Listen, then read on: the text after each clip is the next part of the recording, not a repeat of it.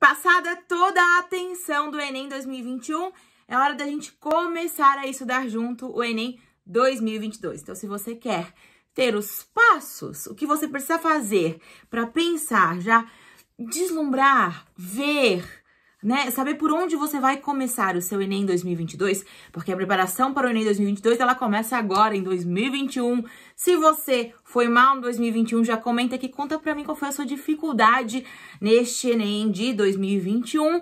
E se você não fez 2021, mas vai fazer 2022, já fala para mim também qual é o seu medo, o que te dá aquele palpitação assim no coração, pensando no Enem 2022, porque agora eu vou te ajudar aqui no canal.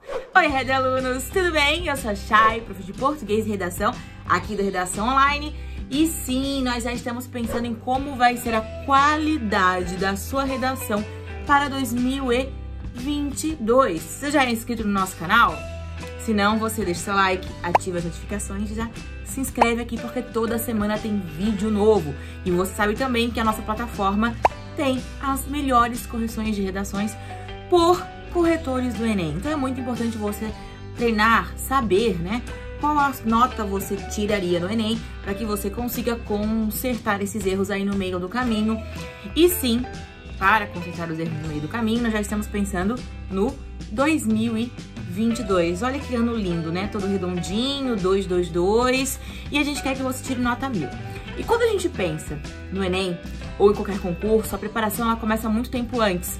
Por isso, que muitas pessoas que já sabem que não foram muito bem no Enem, ou têm uma noção de que foram surpreendidas tanto por questões quanto pelo tema, já iniciaram seus estudos. E essa galera aí que tem a maior chance de passar no próximo ano. Por quê?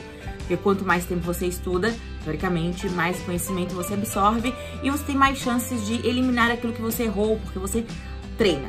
Então, para você que vai começar os seus estudos, seja para Enem ou para concurso, primeira dica que eu te dou é treine. Comece treinando. Você tem que começar com uma rotina de estudos. Então é muito importante que você saiba qual é o horário que você vai, por exemplo, praticar a redação, qual é o horário que você vai estudar matemática, qual é o horário que você vai estudar linguagens, qual é o horário que você vai estudar ciência da natureza. Você tem que ter um cronograma e uma organização. Não é deixar para praticar na última hora e não é deixar o tempo de Deus, né? Ai, quando Deus tocar no meu coração eu estudo. Não, você tem que ter então uma, um cronograma. Você tem que ter uma organização, tá? Esse é o ponto um principal. Né? Ah, se você pegar os casos dos alunos bem colocados, os alunos que foram nota mil em redação, por exemplo, eles tinham uma rotina de prática de redação. Essa é a minha dica número um. A dica número dois é você olhar os seus pontos fracos, tá? Então você tem que saber sim quais são os seus pontos fracos. Quais são os seus pontos fracos na redação? Por isso a correção é tão importante. Quais são os seus pontos fracos nas exatas, nas linguagens, tá? Você tem que saber quais são os seus pontos fracos, porque a partir daí que você sabe já é, aquilo que você tem que dar uma atenção a mais, aquilo que você reforça e sem deixar de estudar mesmo os seus pontos fortes. Seus pontos fortes você dá um up também, porque para que eles fiquem mais fortes ainda e você garanta sempre aquela pontuação, né? Não esquece disso.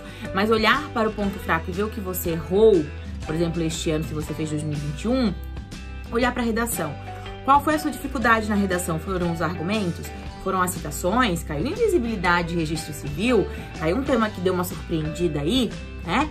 Então, nesse tema que surpreendeu, e provavelmente do ano que vem também surpreenda, porque todos os anos deu uma caixinha de surpresa, a redação do Enem, o que né, mais foi ponto fraco seu, tá bom? Então, além de planejar, você tem que saber os seus pontos fortes e os seus pontos fracos. Depois, não é só planejar, é aplicar, é ter a rotina. Aqui em relação à redação, quantas vezes por semana você começa praticando a redação? Eu te indico pelo menos uma vez por semana.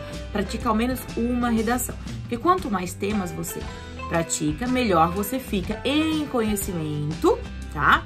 Em pensamento, em surpreendência, né? Porque o tema pode te surpreender, em argumentação, em conectivo. E aí com a correção você vai pensar, bom, o que eu vou melhorar nesses pontos específicos. Então, além de você planejar, você tem que executar. E o quarto, né, grande ponto é você começar a olhar as tendências. Tendências em geral. Quais são os temas que vêm com tudo aí para o ano de 2022, né? Quais são as tendências que eu tenho que estudar? E não é exatamente estudando para o Enem, são os conhecimentos gerais, as atualidades. Então você sim dá bastante foco para as notícias de fim de ano, você olhar para as retrospectivas que a gente vai ter agora no fim de 2021, porque elas podem te abrir, né, vários incidentes que aconteceram em 2021 e que podem ser colocados na prova de redação do Enem, que é feita ali até o primeiro semestre do próximo ano. Então você ficar bem atento a atualidades. E de resto, eu quero que você esteja sempre muito ligadinho aqui no nosso canal, porque aqui no Redação Online a gente corrige a sua redação, então você já sabe como você está para o dia da prova. Além disso, toda semana tem vídeo meu novo aqui de língua portuguesa e de redação, estrutura de redação, atualidades, possíveis temas, tá?